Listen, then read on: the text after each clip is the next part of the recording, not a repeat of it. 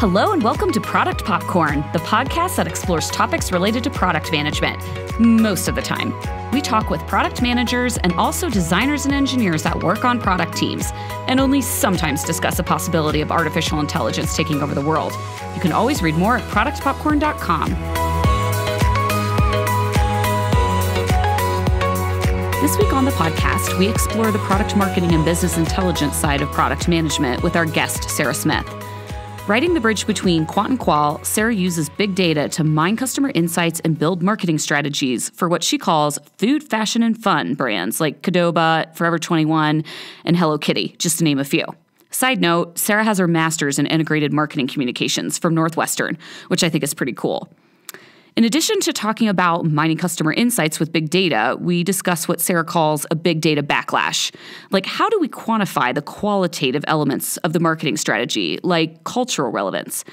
We also dig deep on social listening and how this should be incorporated into your product marketing strategy. And we also, importantly, talk about pig iconography. Oh, you don't know about pig iconography? Well, you're going to have to listen to learn about it. Hey, everybody, welcome to Product Popcorn. I'm Kimberly and I'm a product manager.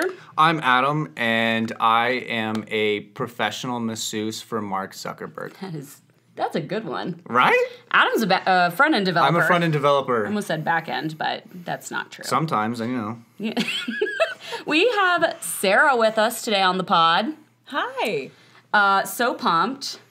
Um, Sara is the best thing to come out of uh, my relationship with my ex boyfriend. So we'll tell you the story. so juicy. It's not really that juicy, but we'll make it sound yeah. juicy. No, you should have totally run with it. Make it real juicy. It's just not though. Yeah. Yeah. Yeah. I wish it were more dramatic, but that's just not the kind of girls that uh, Sara and I are. Do you want me to jazz up the story while you guys tell it? You- Make it juicy? Sure, we'll. we'll It's going to be mostly false. Mostly.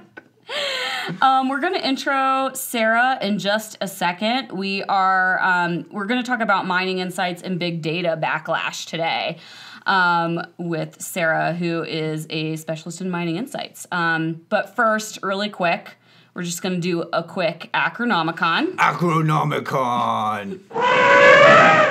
Yes, I love doing that. I was really struggling with acronomicons this week, and then I got two in one email. Um, the first one is IP. Which, of course, means uh, integral potatoes. Nope. Intellectual property. Oh. So or internet provider. I was on. I was going with internet provider. Okay, yeah, that that's like more of a charter definition for sure, but I guess either one of those. Okay. The other one um, is VOC. Which stands for very old crab cakes. I was going to say voice of the customer. Yes, Oh. Sara knows. Wow, that's beautiful. Sara works in insights. so yeah, it's voice of the customer. So um, if you do like I don't know in product a lot they say like a voice of the customer, voice of the consumer, like research project, and just talking to users and kind of putting together that comprehensive um, research. Anyway. So those are the two I had for today. Those are beautiful. Um, now we move on to the best part where I ask Sara ridiculous questions, um, so we get to know her. deeply, deeply personal questions. Okay. Go for it.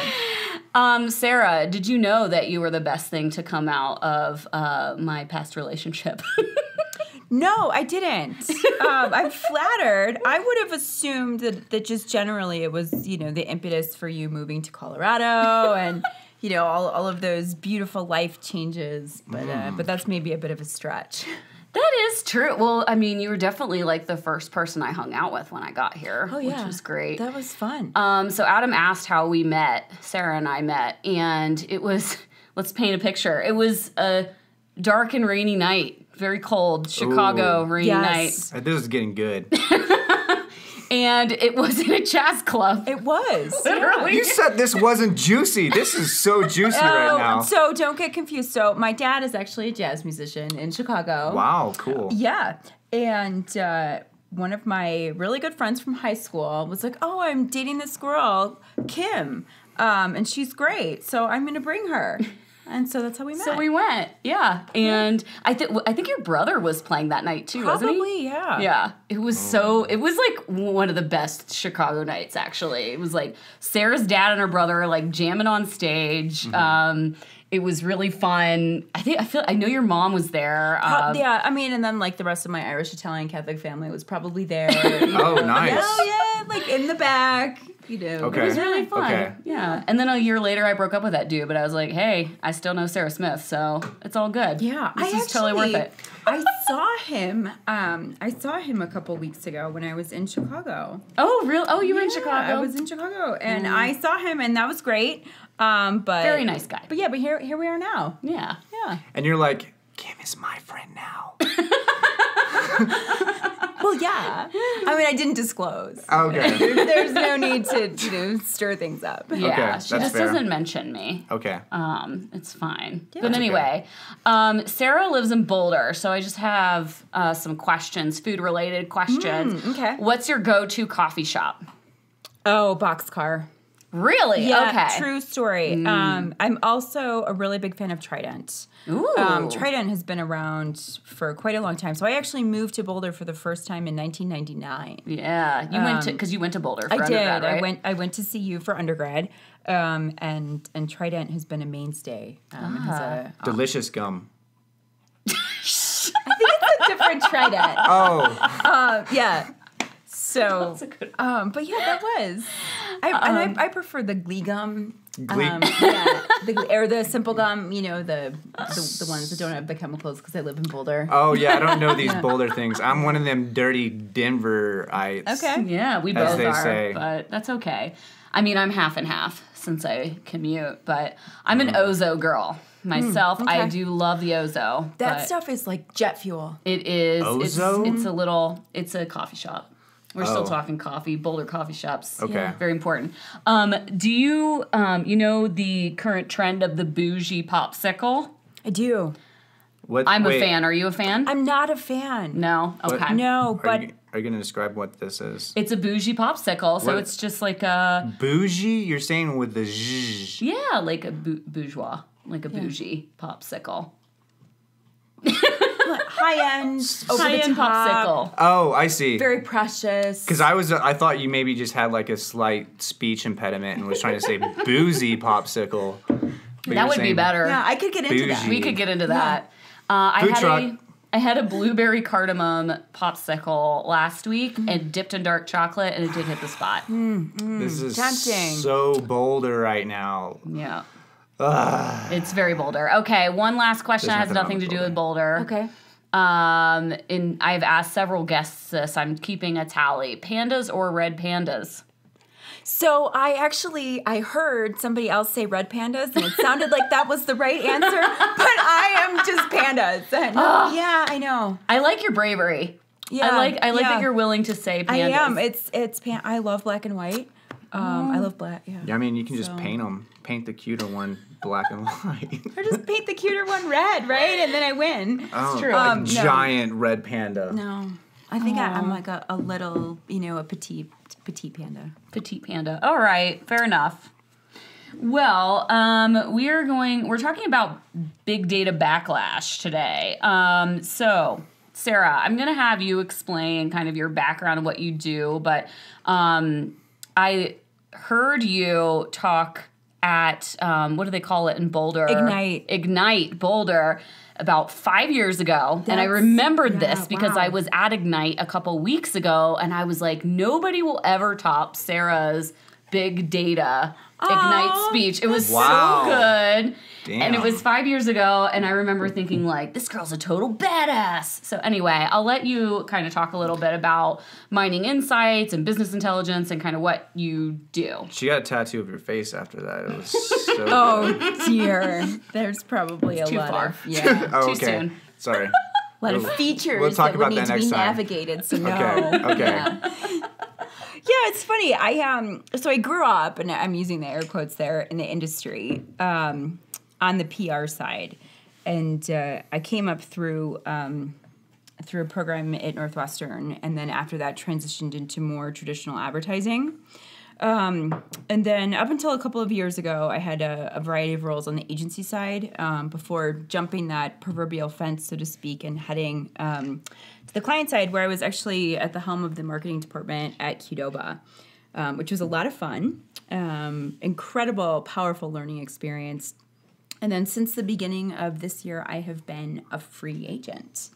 You're freelancing I now. am, and it's amazing. Um, and I'm I'm really proud of a lot of the work that I've been able to do with my clients, um, who who run the gamut from food, fashion, fun, and fuel. So you're mainly marketing based then. Your job. Yeah, would you say you're in marketing, or would you say like yeah, so most of the work that I do at the end of the day is actually um, marketing at its core.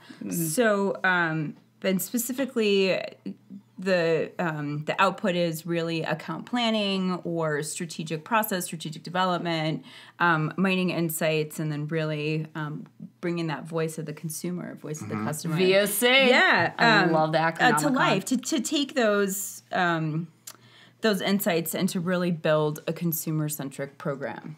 Nice. Yeah, yeah. So that's ultimately what it's about. But um, But when you say marketing, so like y- you are a quant, right? Like, I'm not. No? no. But but it's a fair thing. So I actually kind of ride um, ride that line and build the bridge between quant and qual. Um, Okay. And that's one of the things about um, the methodology of social listening, which really relies on big data um, for you know for all the different inputs and and what the core of it ultimately amounts to. Um, is it it kind of blends quant and qual, which Yeah. you know for, for more traditional um, researchers, they, they tend to get goosebumps or freak out or feel a little sick to their stomach when I say things like that. um, but but what it is is we're able to to quantify um, some of the more unique qualitative um, qualitative outputs in an unbiased and unprompted way. So maybe a little heady, but you know, think about it in terms of like every tweet that's out there, or like every blog post, or you know, any piece of content or any like, comment, whatever, right? Right. Um, you know, what maybe it's these potatoes you were mentioning. Somebody has an opinion. They're one way- integral. yeah, one way or another. um, and so what we're able to do is build these queries. And so called topics. Sometimes called topics. Yeah, it totally depends on the software. Um, the I mean, I wouldn't know that because I work on a big data social listening product. I don't. They listen to everything. yeah, they listen to everything, Yes. um, which is awesome. So especially for And scary. yeah for I don't know why people think it's scary. I don't think it's scary. Do Mm-hmm. you? Do you think? do you really think it's scary? I mean, like, nope. wh- Definitely don't. Okay. Zero. no, I just everything I put on Facebook or Twitter, like, I'm totally fine if brands look at that. I You don't know, yeah, that's true. Uh, there's the. It's you not private information. I have thousands of people, you know, looking at it. So If if it was truly private, you wouldn't actually post it out for the world to see. It's just, I think the the thing for me is that understanding the scope of what how visible it truly is because I think a lot of time you post on Facebook, you like and that sort of thing. Mm-hmm. You you're like, okay, well, this is just me and my friends, but it's not, right? yeah, uh, I mean, Well, all a sorts lot of marketers yeah, are looking at that. That's the thing, Mm-hmm. and and there's um there's quite a bit of a brouhaha, so to speak, depending on how your privacy settings are set. Yeah. And um, one of my favorite tools is actually um, it's a tool out of Boston called Crimson Hexagon. Okay. Um, I know. I know, I know so much about Crimson. I know. I figured you probably had a lot to say about Crimson, but it's one of my favorites, and I'll tell you why. It's a great product. Um, it is because um, of the way that you build these queries. yeah. And so um, you basically you build your query based on Boolean logic. Mm-hmm. So it's a series of, you know, ands, ors, and nots, right? Right. So it could be I want to um, look at Chipotle and Qdoba, or Right. I want to look at Chipotle or Qdoba. Right. Or I want to look at queso and I want to see, you know, Moe's Chipotle, Qdoba, and Baja Fresh queso. Yeah, right. Why not? A big query. Um, yeah.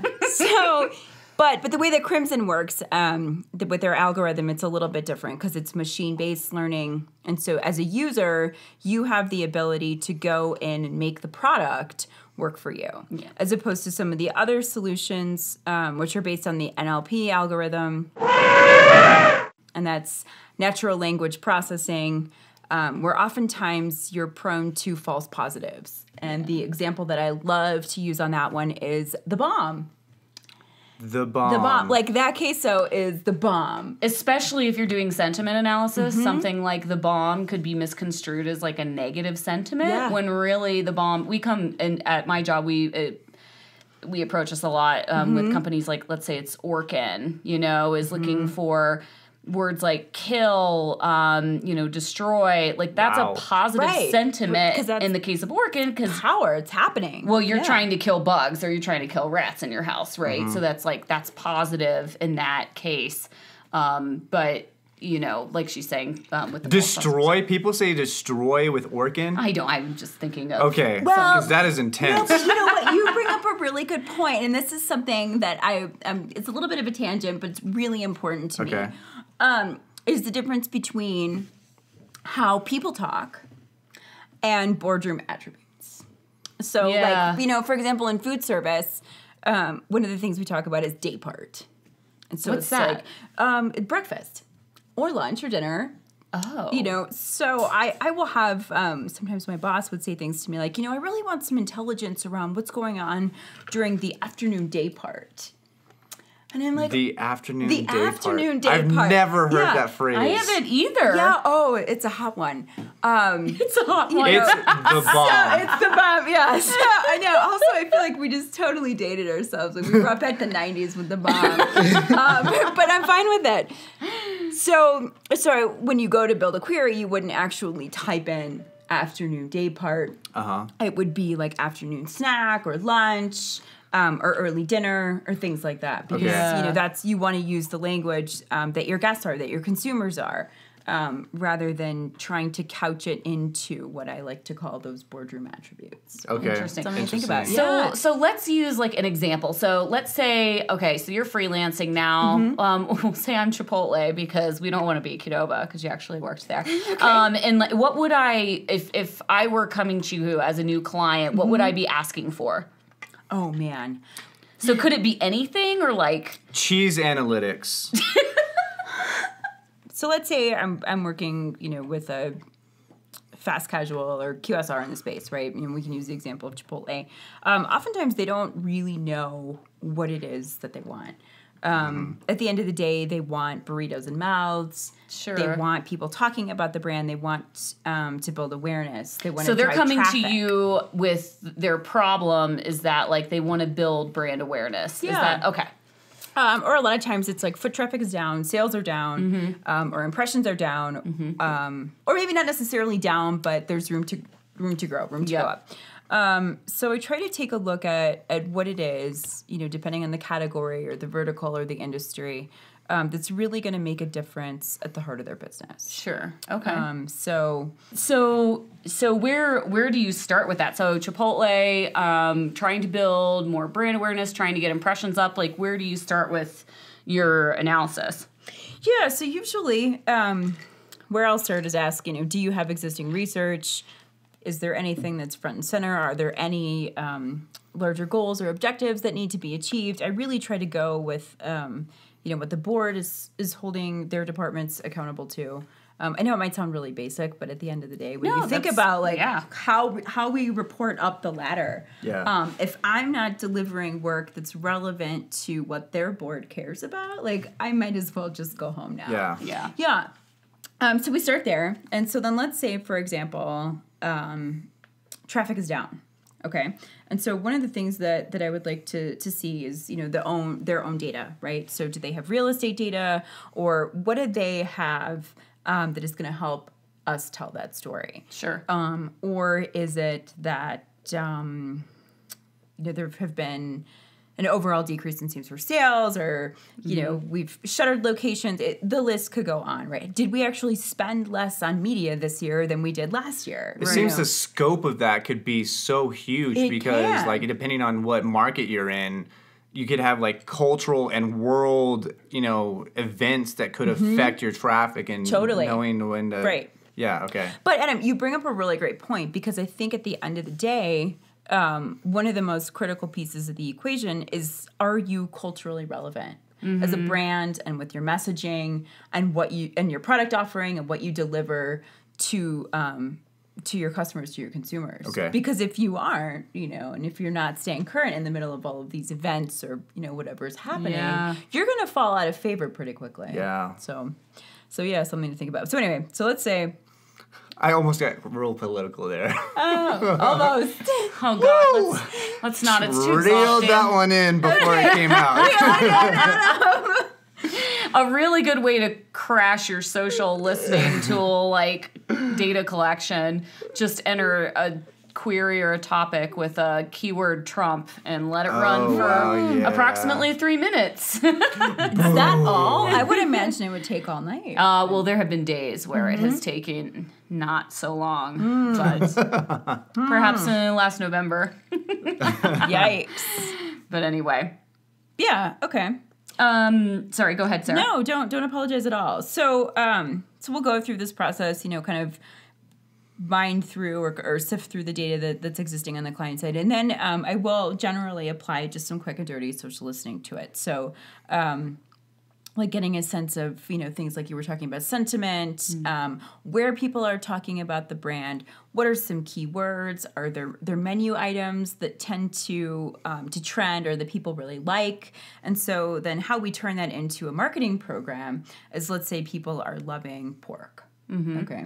And so The other white meat? yeah the other white meat sometimes. Unless Yeah. it's bacon Oh, bacon. um, okay, so let's say they love pork. So you know there are certain things that we can tap into um, to make more to make pork a more prevalent part of the equation. So you know we can look at um, like pig iconography, or we can do what?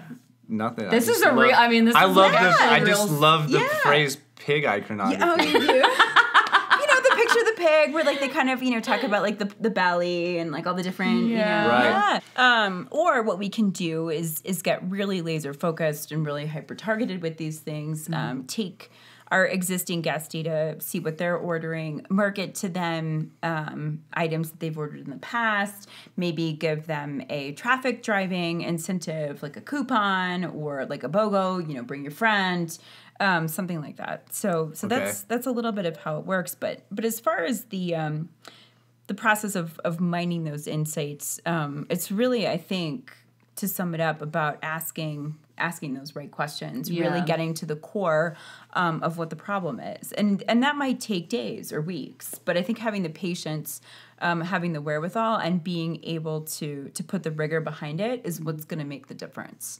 Um, and then as far as as going through that process of mining the insights themselves um it's a, it's a really funny thing because like you have those moments you're like how do i know that this is the right insight It's true, You know? yeah, especially with social listening because Yeah. it's anyway. or like what makes an insight Yeah, you know because you could you could find something like um okay let's say um baked beans are trending Okay. right is that a fact or an insight right well i don't actually know if they are or not so don't No, don't no, hold I me know, but I, I've come Um, across stuff like that and just running queries at work. Like, oh, or, you know, if maybe I have a baked beans query or topic running and then I see like uh, in themes and terms, um, which would be like underline, you know, themes that Yeah. go along with baked beans could be like asparagus. And I'm like, are people eating baked beans with asparagus? Like, who knew? Right. So sometimes those insights, I feel like they come along and you don't even.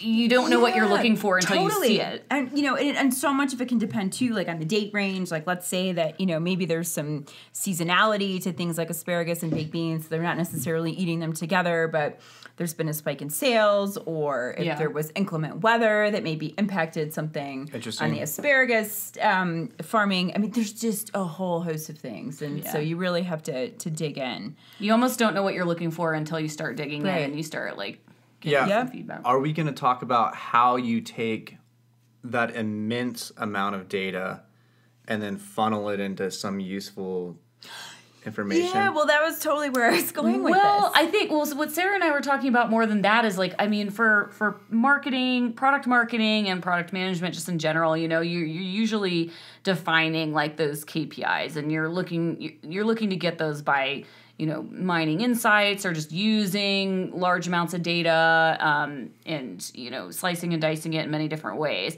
But something that sara had mentioned was that there's recently been like a big data backlash almost. And i think the way that you phrased it is Oh, um, hold on let me look.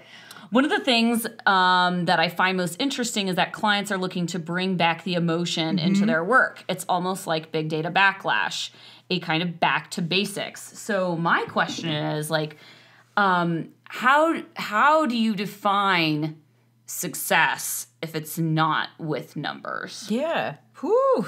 That's a good one. It's a million dollar question. Yeah, so. it is. Well, no, it's so so it's really funny. Okay, and and I'll I'll go back to this example about being hyper targeted and laser focused. Right. Right.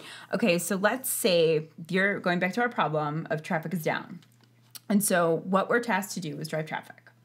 And one of the tactics that we can um, pull the lever on is just going really um, direct. So you know, emailing or um, creating like a mobile geofence around certain locations to bump people. Yeah, geofence. I know you like that. I like that. Um, yeah, to get people in store, you know, sending them um, messaging or marketing around maybe an item they've already purchased and so on. Okay, so where's the emotion in that?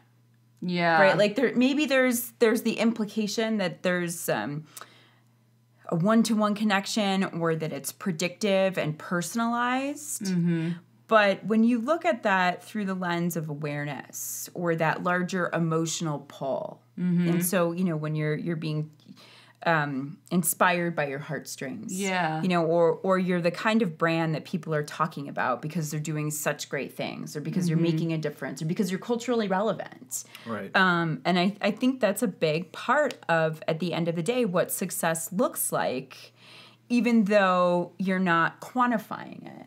Okay, so one one way we can look at success is like, okay, yes, we we drove traffic. Traffic is up. Profits are up. Right, that profits are up, share price is up. You know, Yeah. and, and that's a, I think a big part of it too. Is um, you know sometimes success is measured through the lens of long long term shareholder value or shareholder growth.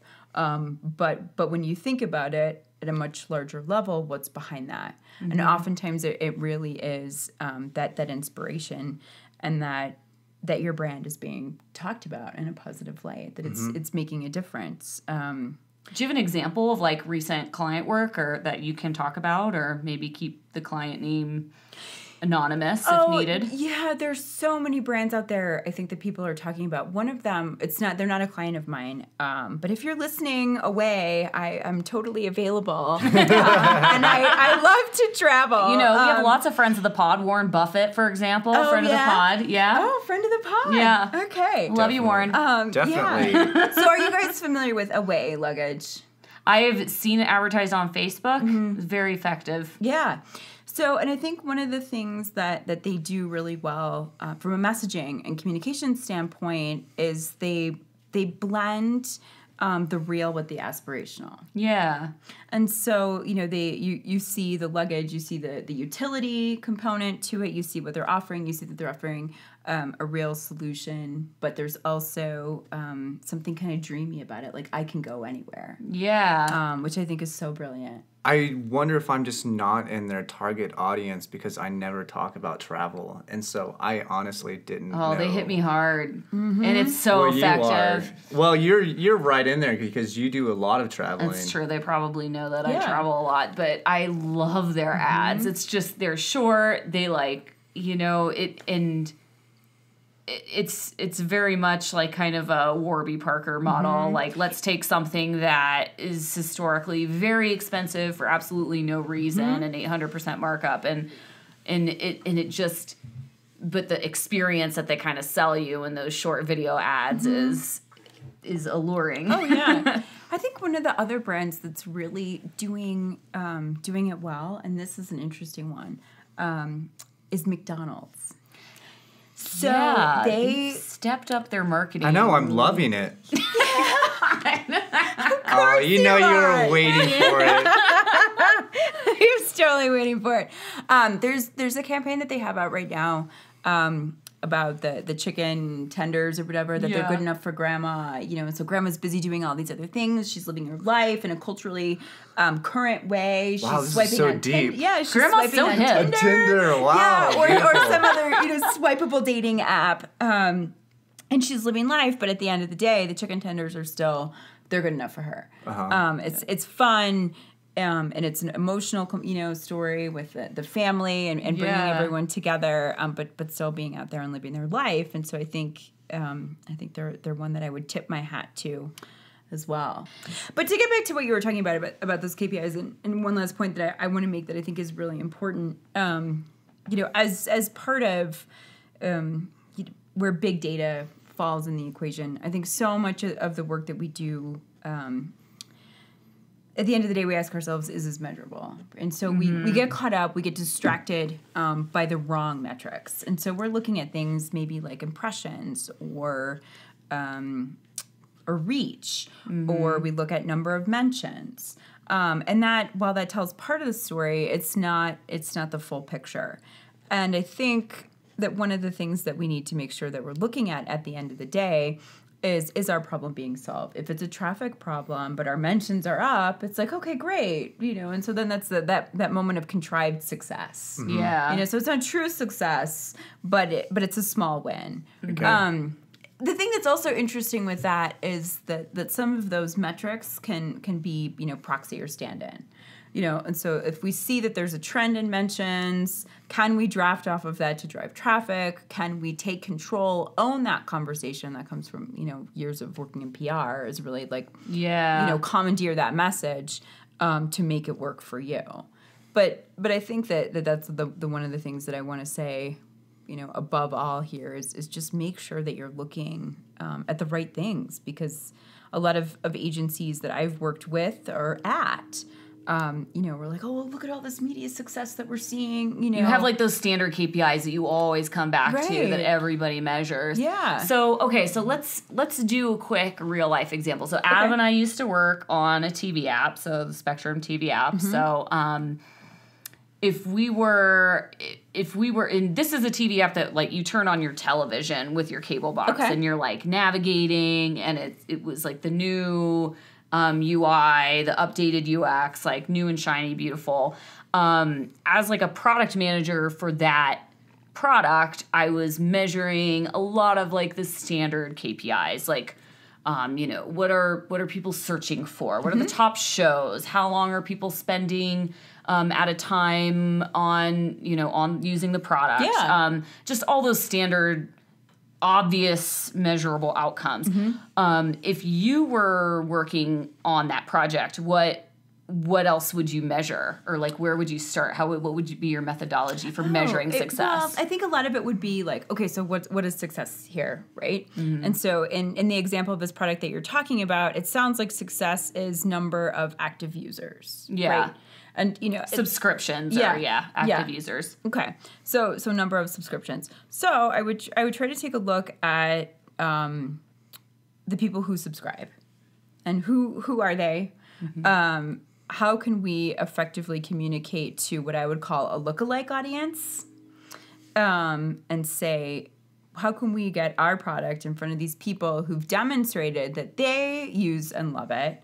And so I would also look at time spent on site or time spent with product um, because if you can see the people who are really like you know into it they it, it it's life changing for them perhaps i don't know maybe that's a bit of a stretch but Yeah. but maybe for some people it is um, so i would take all of those things all of those metrics um, like you know active users who they are try to get um, build a consumer profile maybe even build a persona Yeah. um, and then create a lookalike audience and then market to that lookalike audience because ultimately at the end of the day we want to increase our number of active users or active subscribers because this was something that I actually um, had many conversations with among the product team was is time on the app actually a relevant KPI? because this is this is my thing, and, and maybe perhaps I consume television differently than the wider obvi- audience, um, but. I- you know, I pay for a cable subscription. Mm-hmm. Um,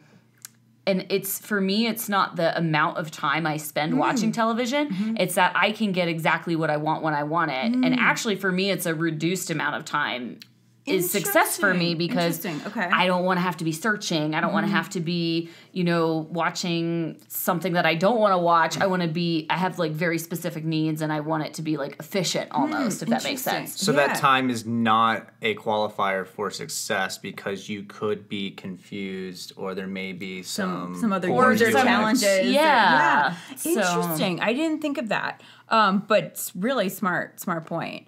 Because I and the way that I look at it, right, is you know, what's a proxy for engagement? Yeah. Okay. And so, it- but it might not necessarily be a positive engagement. You know, like, Yeah. during that time, there could be, like you said, a lot of frustration or a lot of like, I can't find my show or, um, And how do you measure that? Like it's you know a lot of that is just very you you're kind of as, making some assumptions from the data too. And- Mm-hmm. yeah. You run that against how angry their Facebook posts are at a certain point in the day. Well, you could. I mean, you literally could do that. Yeah. Yeah. You, you actually if you could. can match up social handles or authors somehow um, with that, you could literally Yeah. do that. And yeah. that's happening now too. So, yeah. Um, so it's it's pretty powerful. But that that is a really good point. Um, And I always like it. Always amazed me because you know we had a huge um, analytics team Yeah. at Charter, Oh, and. Yeah. um, you know it was it was always you know here's the numbers and this is what it means. Mm-hmm. And I think a lot sometimes you know they'd be giving these presentations to big execs or Yeah. like you know C level, and um and I I sometimes I feel that it wasn't it was just taken as fact like Mm. this is what the number means when there's actually a lot of possibilities. yeah, there's kind of some subjectivity into it's not a black and white thing. yeah it's not Yeah. black and white like like we were just saying you know time on site or time on app time spent on it like what does that really mean Yeah. D- is that a good thing if it's longer is there frustration and that i don't i mean that's a one example Yeah, but- the way I would look at that too, though, is um, so if, if we're looking to see if someone's having a bad experience, right? So is there a correlation between time on site or time on app um, and then attrition? Yeah. Right. So are we losing these users? So the users who spend more time, are they actually canceling their subscription? You know, Yeah. and what's the story there? Um, or are the users who are spending less? Are they more longer, uh, l- less time? Are they longer term users? And you know, what's the value of, of those accounts and Yeah. things like that. So, um, but but yeah, I mean, it is a, it's a really challenging thing, um, and I also think that's a, a part of where qualitative research Yeah. can come in and support the process.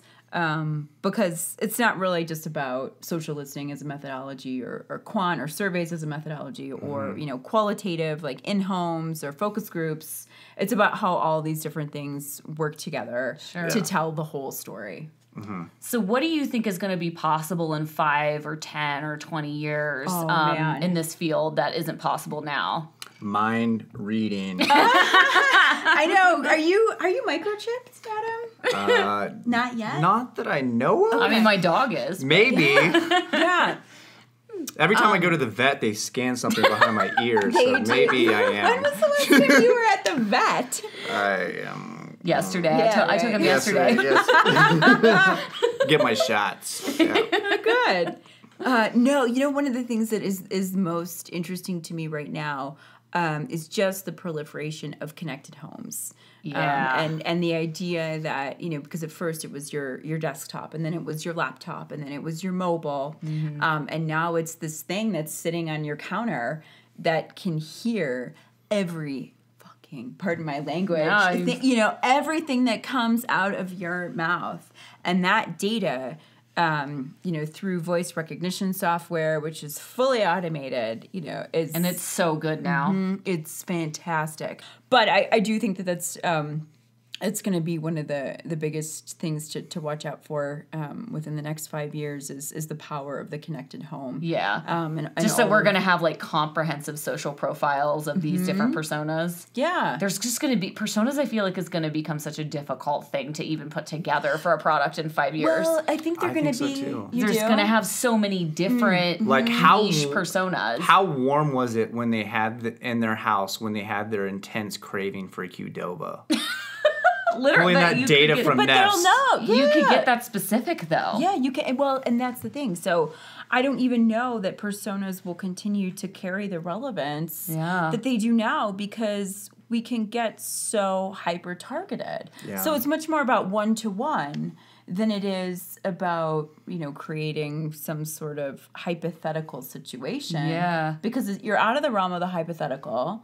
You're you're de facto connected and there are all kinds of opportunities to exploit you know each individual touch point throughout the course of the day. Do you think that there's ever going to be too much information? well so i actually think we're already there. You know when, Yeah. when we were talking about this with with these folks um, you know going through streams of data and one of the biggest challenges that that i go through is you know how is this actionable? Is it really actionable? Or is it opinion?